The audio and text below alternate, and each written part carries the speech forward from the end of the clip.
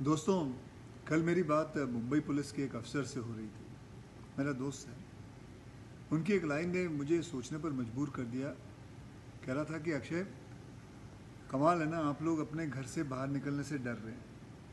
और आयरनी की बात यह है कि हम अपने घर जाने से डर रहे हैं। सारा दिन सड़क पे रहते हैं, इतने लोगों से मिलते हैं, कई बीमारियाँ अपने घर घर वालों को ना दे दें, इसलिए हम घर नहीं जाते दस दस दिन बारह बारह दिन। मैं बहुत देर तक सोचता रहा। हमें अंदाज़ा भी नहीं है कि हम सेफ़ रहें इसके लिए कितने लोग अपनी जान को जोखिम में डालकर हमारे लिए दिन रात काम कर। हमारी पुलिस फोर्स,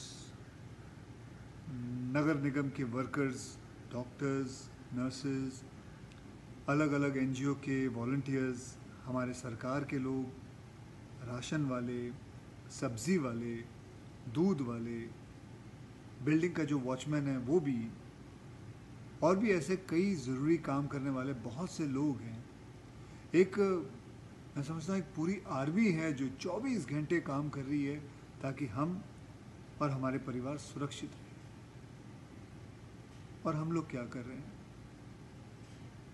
घर बैठकर फ़िल्में देख रहे हैं, वेब सीरीज़ देख रहे हैं, बस। यार एक एक थैंक यू तो बनता है, दिल से थैंक यू बनता है। मेरे अगले ट्वीट में, इसके बाद जो ट्वीट डालूँगा, मैं इन सबको अपने और अपने परिवार वालों की तरफ़ से दिल से थैंक यू करूँगा।